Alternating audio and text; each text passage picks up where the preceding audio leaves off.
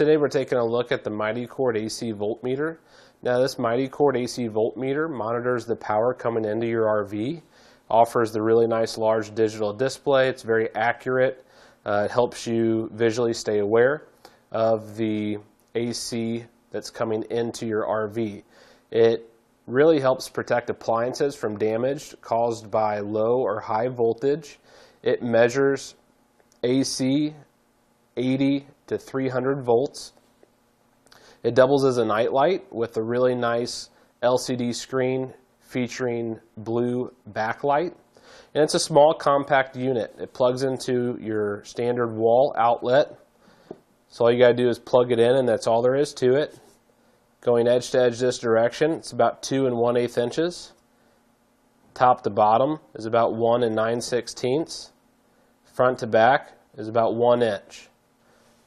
That's going to do it for today's look at the Mighty Cord AC voltmeter.